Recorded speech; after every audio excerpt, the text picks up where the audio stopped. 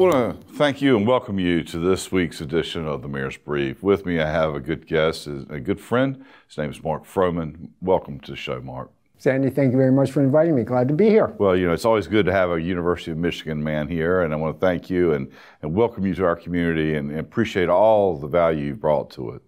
Uh, I want to talk a little bit about your consulting small businesses uh, and the process and what does that look like. And because I think it's important in this post COVID 19 world that we're finding ourselves in. We're, we're established businesses at some level or even having to kind of recreate themselves or or go through a startup of sorts. And so I'm really concerned about how do we jumpstart our community. Sandy, I'd like to uh, go back since there are a lot of questions. Sure, sure. You I'm, pick I'm the one you the like. one I want. there you go. Fair enough. But uh, be, be, be, before uh, COVID, uh, over the last uh, couple of decades, and it was accelerating uh, up until COVID, and then it got dramatically greater, was the need for businesses to look carefully at themselves and more so to look outward at the trends, the, the changes, whether they're governmental, marketplace, technology, and uh, determine what changes, if any, they needed to make in, in their business and their operations or their business model. And a number of companies did that fairly well and uh, were successful, uh, grew. A number of companies did not either do that at all or very well, and they would went either generally flatline, uh, did not have positive cash flow, some went down.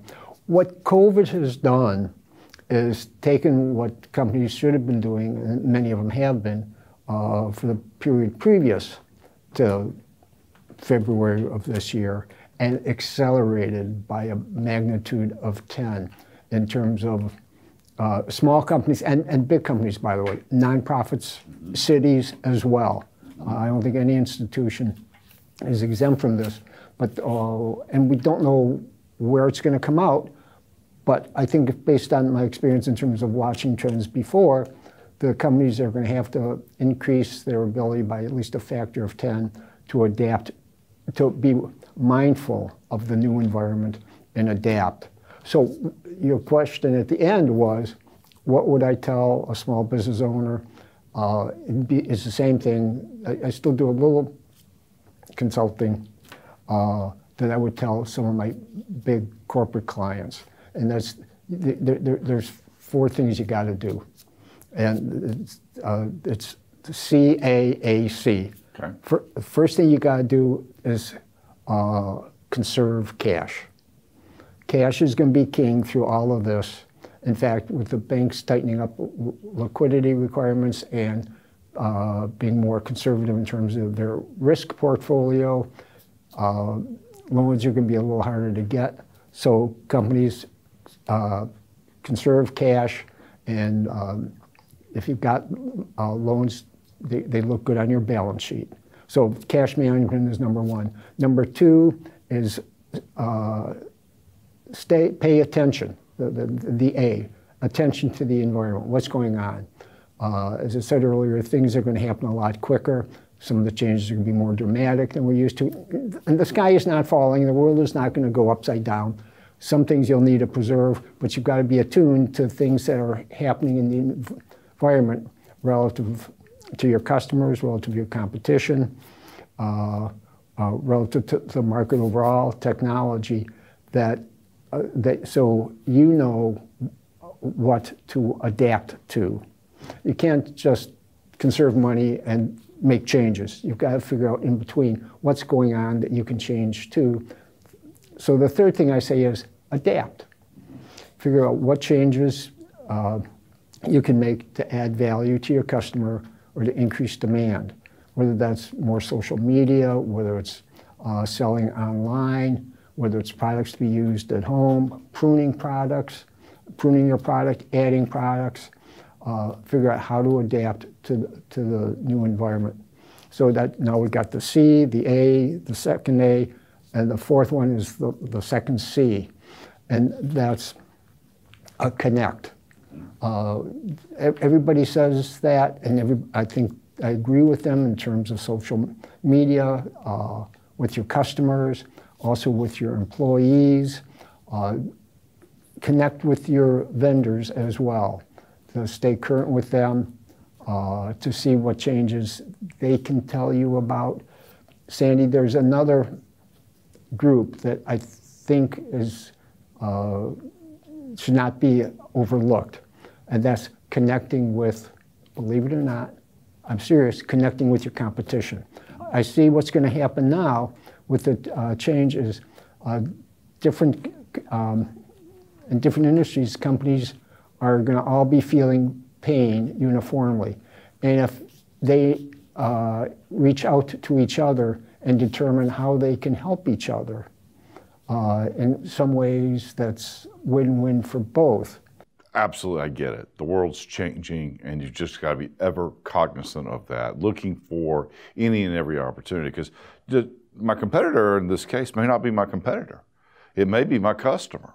If I've got additional right. capacity, well, maybe I changed my business model. I'm no longer trying to serve the end user, but rather, rather maybe I could just be a cog in the manufacturing wheel. B2B instead of B2C. That's Absolutely exactly right. right. So maybe that fits, maybe that works, maybe my competitor has got a better sales organization than I do. Yeah. Lots of reasons as to why. Great example, Sandy. Yeah, absolutely. So the thing that I am most curious and, and we'll talk a little bit about is cash. I mean, right now the SBA is is throwing money out there. I had a teleconference uh, town hall meeting with the president of the Golden LEAF Foundation yesterday, and you know he had approved a number of money. He's going to use uh, local banks as intermediaries to qualify bridge loans.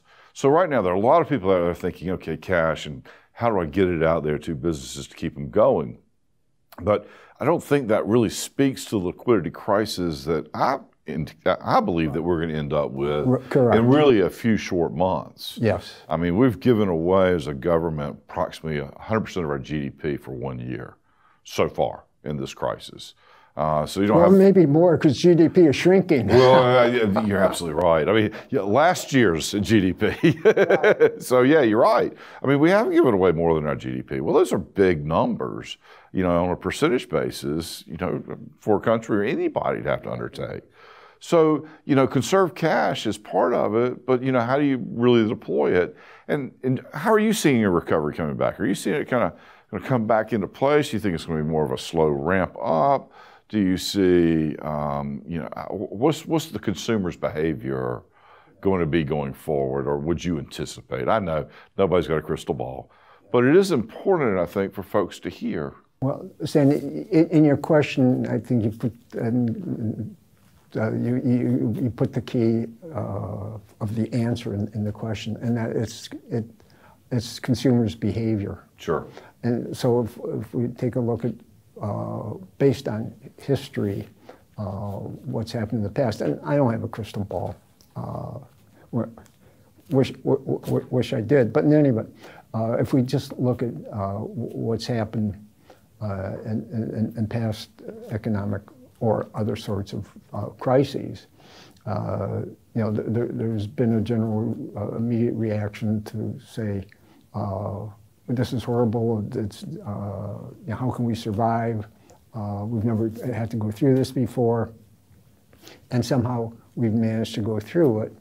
But at the, once we start coming out of it, consumers are more mindful, thoughtful, and cost conscious. Right. And I think that's going to uh, occur here. Uh, hope to God we get out of this. I mean, we really do have enough uh, uh come out of it in a way that's first and foremost uh, in a manner that's safe uh, of, of, our people.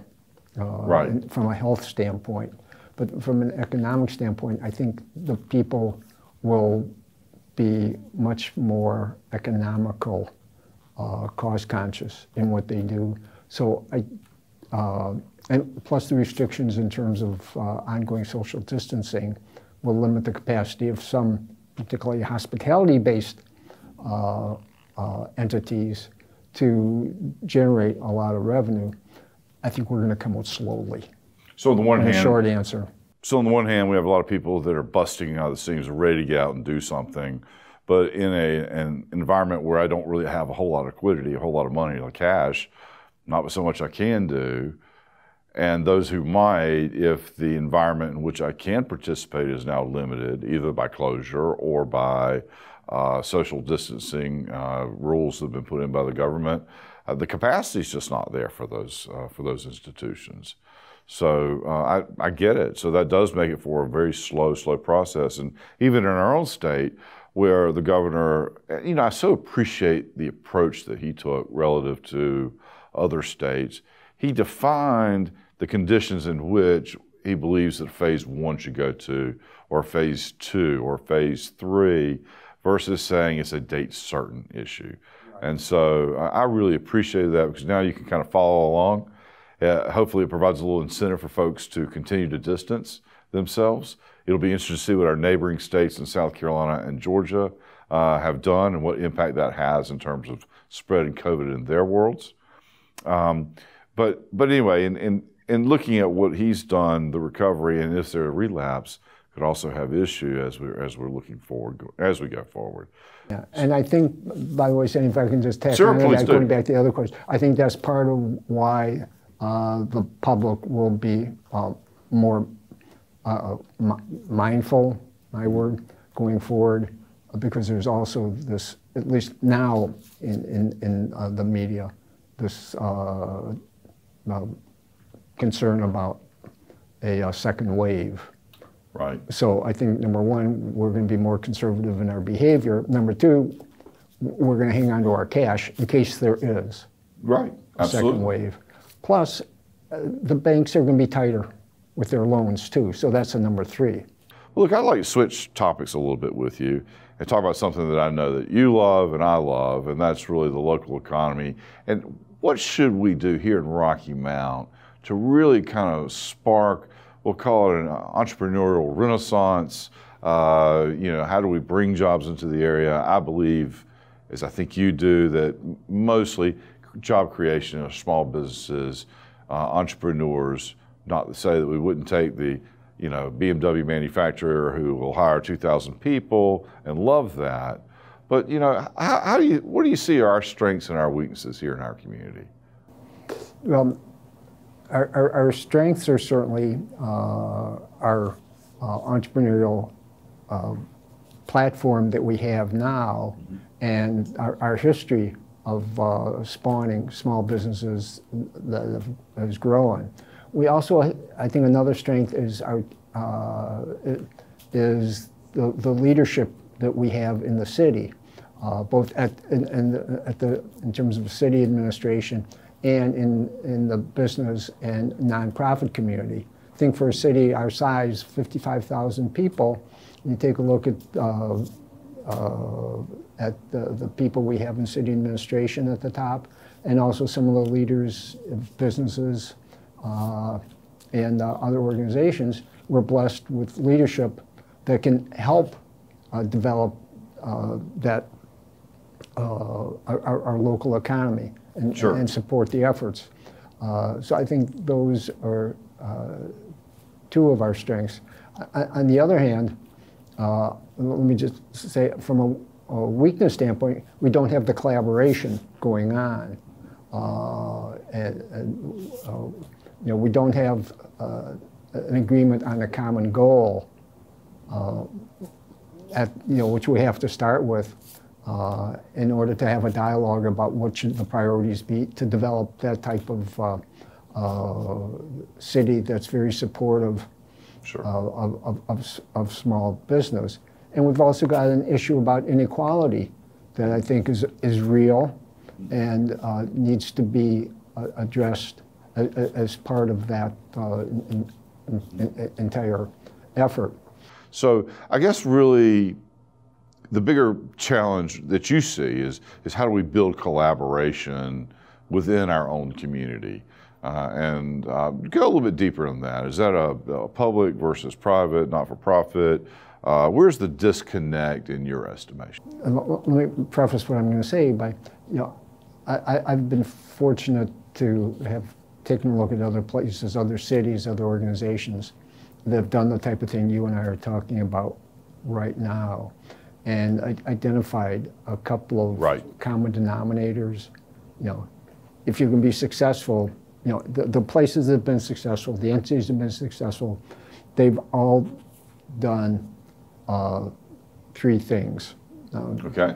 The, the, now, the three things all represent one, so I'm going to just start with the one, and that's any effort at uh, building uh, the, the, the, the, business environment and, and, the, and, and the number of jobs always gets down to increasing access to information and advice for entrepreneurs, small business owners, increasing access to services for them, and increasing access to capital.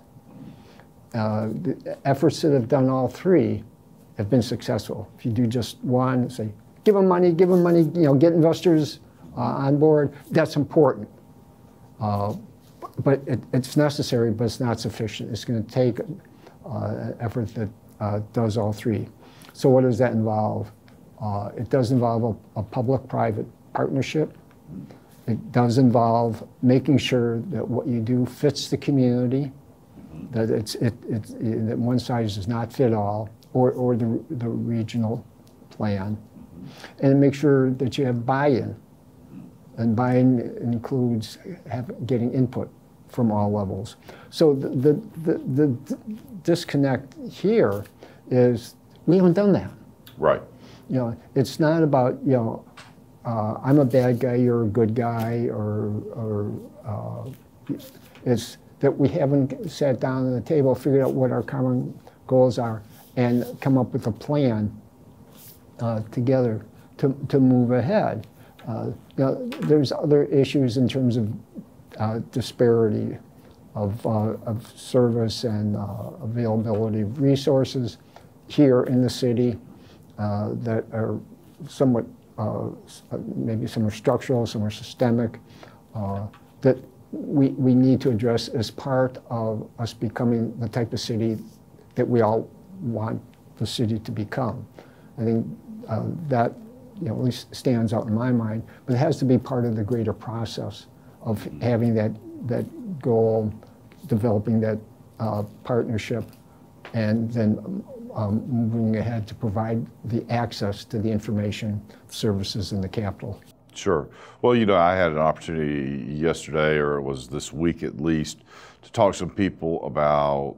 Um, it was really economic de- development oriented, but more more like residential development. You know, how do I put in some large developments in the area, right? Because we've got jobs coming to the area. So the question was really, do I select Rocky Mount or do I select a, a cornfield out in Nash County or in Edgecombe County and build my own little gated world?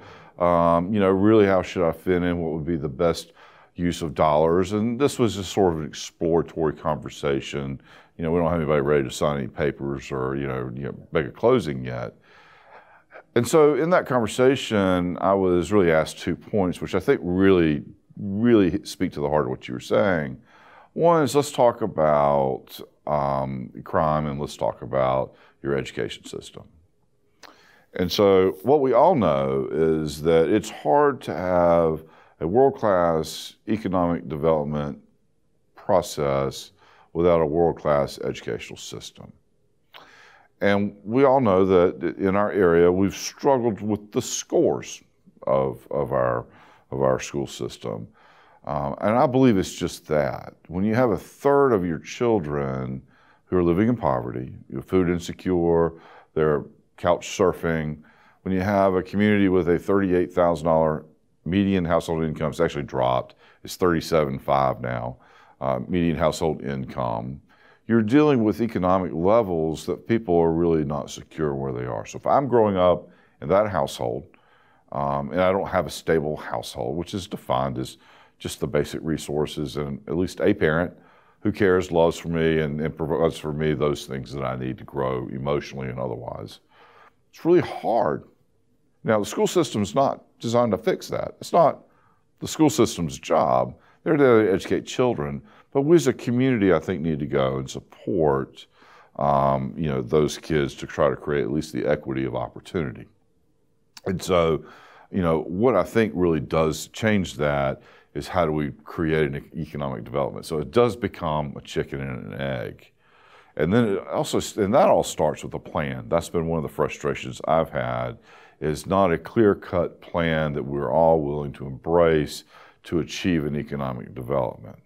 Now, when it was all said and done, I think our individuals left very happy and very committed to at least exploring Rocky Mount going forward, uh, understood the educational arguments that really our school systems are not failing. We as a community need to reach out to those in our community that need to help to kind of create that. We have we have a lot of kids that are just falling between the cracks, so we got to start there. So the bigger challenge, uh, as I see it, is less about those items if we get people to agree on them, and, and I think that there's a large group that, that that do believe that that are supportive of it. But how do you get everybody together, try to figure out what that plan should be? Yeah, economic, Sandy, I, I agree with you. you. Economic development, I mean, that covers a multitude sure. of potential initiatives. And economic development to one person uh, may be defined as something very different by somebody else, particularly if they have a different uh, culture or uh, educational background. So right. I think what we, uh, yeah, to, okay, and let me, you know, kind of take a long jump off a short pier here. Not, economic development to me is uh, uh, not only business development, uh, but also community development, uh, housing, uh, education, and I think, and, uh, and marketing, and leadership. Okay, so I've just come up with six things that I, I would uh, be happy to uh, argue need to be considered if you're really looking at a robust definition of economic development. I'm not saying they're right, uh, but I am saying, as, as you said, we need people to come together at the table to, to discuss them, set priorities, come up with, okay, we need some early wins. We need, uh, you know, to, to, to show that uh, to get people more trusting and confident in what we as a city can do. But it's got to be in the context of a longer term plan, right? Which does raise all those boats, all the all six that I mentioned actually. Right. No. Well, the other thing that I had mentioned too is in my my story was crime. So, Mark, when you go back and you look at the statistics, I mean, we, sh- we show up as the 23rd safest city in North Carolina.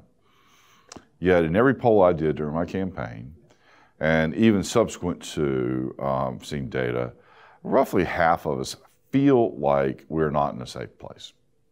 Well, that's an emotion, that's not necessarily a reality, but we've got to address that and deal with that as a community because that's controlling the narrative way too much. And if we've got challenges we've got to identify, and we've got to be willing to be transparent with ourselves and just figure out where resources are. But that's part of a plan. And so it's about getting people to the table. And, uh, and I, Sandy, I may, I may, I may maybe a, little uh, off, offbeat view of this, but you know, certainly our, our, our, storytelling has to be better. Right. But I think the way we change that is by changing some of the processes of, of that, that, you and I are talking about. Mm-hmm. Great. And let the message get out about not that crime isn't bad, but let the message get out look at the positive things that Rocky Mount is doing. That's correct. Uh, That's uh, in, correct. In all those six areas. And, let, and that, in and of itself, I think will be a much stronger force to create the positive narrative than somebody saying, hey, I'm, I know a PR person. Right, exactly. Well, no, that's right. I'm not trying to put powder on the pig, so to speak. It is about bringing uh, healing and discussion for an entire community. We are a singular city. We are we are one Rocky Mountain, and that does matter. So I think our time's kind of running out here. But is there one other thing that you would like? Any other thing you'd like to leave us with um, before you go, uh, related to economic development and development of our community as a whole? That you, particularly having been a, a leader in our community, but uh, originating from a different place with a different perspective, might be able to provide insight that maybe the rest of us don't see. Sandy, first of all, thank you for inviting me here. Absolutely. I appreciate it. Thank you for taking the initiative in trying to bring people, uh, not only to uh, share their views, but also to come together, to, tr- you know, in terms of trying to help uh, start that culture of, of uh, cooperation, collaboration that we need. So, th- having said, thank you to you and your staff. The other thing I would say is, having had the opportunity uh, to travel an awful lot, not only in the United States but also outside the United States, and had uh, been blessed to meet with lots of uh, leaders and, uh, and lots of organizations. I, I would I would say Rocky Mount has, uh, compared to a number of other places I've been, has a lot going for it. And rather than pointing out our problems to each other, if we could, uh, you know, uh, appreciate what we've got that's working. You know, thank you for saying that because absolutely, in the story that I told about meeting with this group uh, yesterday, it's not if somebody's coming to the area, it's when and where. Do we get to be part of it as a community, or is it just going to be just on the outside and we're outside looking in? So, look, I want to thank you so much for coming and joining us today and appreciate all that you do and ask that you keep on keeping on. Sandy, thank you very much. Uh, thank you for your leadership. Thank you.